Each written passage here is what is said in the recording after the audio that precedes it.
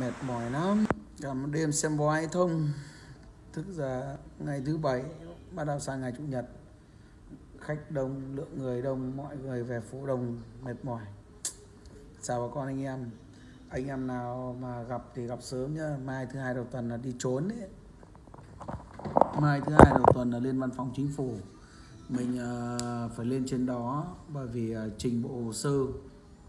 Lên uh, văn phòng chính phủ để trình cái công việc giấy tờ của phủ thì uh, thứ hai này mình có mặt ở Hà Nội anh em nào mà mình đi từ năm rưỡi 7 giờ là mình có mặt Hà Nội để mình uh, vào để mình uh, gặp mình nói chuyện.